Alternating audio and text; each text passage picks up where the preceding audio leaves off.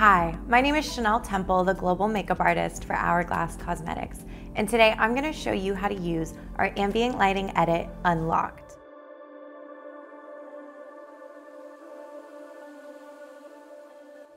One of the great things about the Unlocked palette is how versatile it is, and you can use it in so many different ways depending on what suits your skin tone best. I'm gonna show you the ways that I like to use it.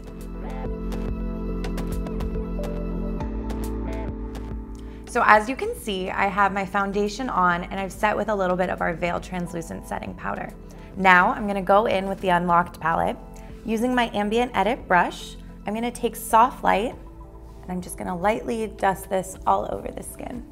I know it's sometimes kind of hard to see on camera with these powders, but in person, it does something so magical to the complexion.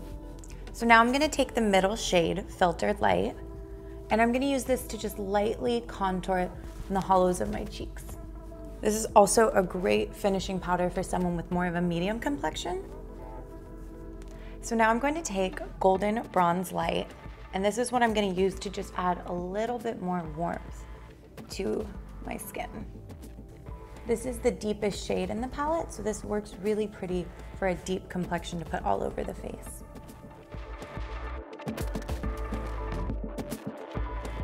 The blush shades in this palette are so flattering, and personally, I love having two options in a palette. It's great for travel, and then you have something for whatever look you're going for. Today I'm actually gonna be mixing both the shades. So you have Nude Glow and then you have Mood Flush. I'm gonna mix them together, just give a little bit of blend of both shades and I'm gonna go right on the apple. So again, mixing the two. But if you're someone who likes a little bit more of a subtle blush, you can actually diffuse it a bit by mixing it with any of the finishing powders on the top.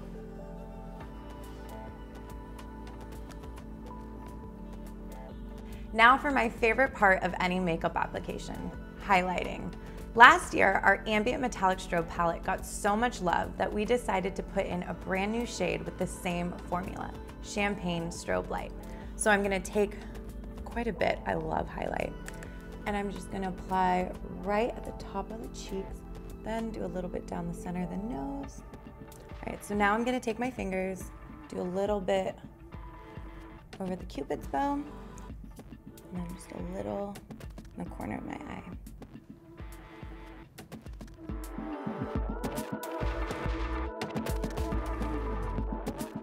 Next, I'm gonna take the Unlocked palette to create an eye look.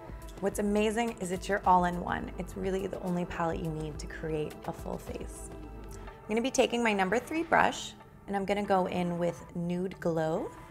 I'm gonna take this all over the lid. There's a really pretty kind of peachy tone to it. Next, I'm gonna take filtered light and just soften out the edges. With the same brush, now I'm gonna go in with golden bronze light. Just give a little more depth in the outer corner. And then with my finger, going back in with champagne strobe light, just under my brow bone. Really helps pop the arch.